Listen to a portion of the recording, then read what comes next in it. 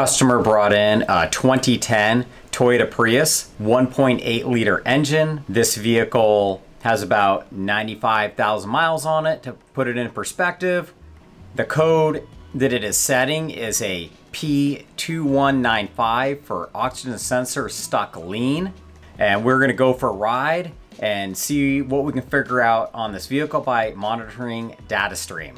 We will monitor the air fuel ratio sensor, which is basically your oxygen sensor. It's located in the exhaust manifold and the exhaust passes by the sensor. It reads how much oxygen is in the exhaust to see how clean the engine is burning and closest to proper 14 to 1 mixture. We also will monitor the airflow sensor.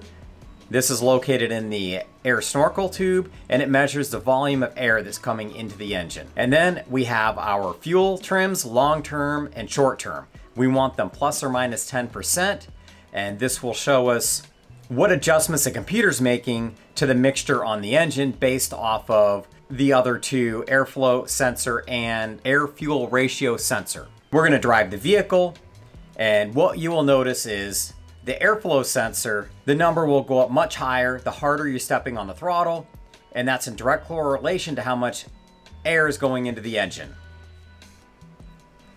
You can see the short-term and long-term fuel trims are staying around zero and our air fuel ratio sensor is pretty close to where it needs to be. Ideal is 3.2 to 3.4 volts. That would be exactly perfect if you're just cruising. The higher the number, the more lean it's saying the system is, and the lower number is the more rich that it is. We got the vehicle back to the shop, and one of the things we do before we go into our test drive is we clear the codes, because we want to see if the code is going to return or not to see if it's active.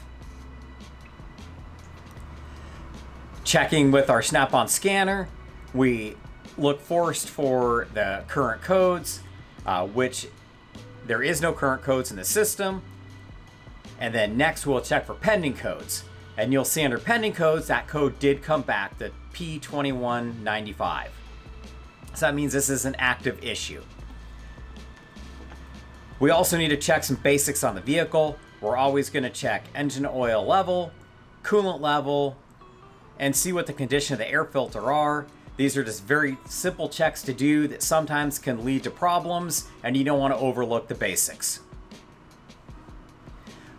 All of those items looked pretty good, so we will be recommending replacing the air fuel ratio sensor on this vehicle. So the customer approved us replacing the air fuel ratio sensor, and now we're gonna go on a test drive to look at our values to verify if we have fixed the problem or not.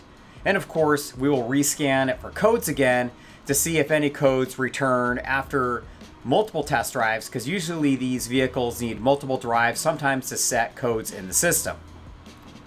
So as we're looking at these data stream values, what do you see? Do you think the air fuel ratio sensor fixed the problem?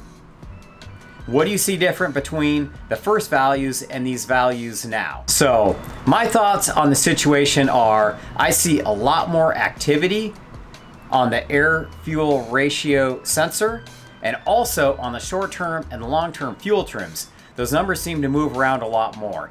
So in my opinion, that sensor was pretty lazy. Put in the comments below what you think.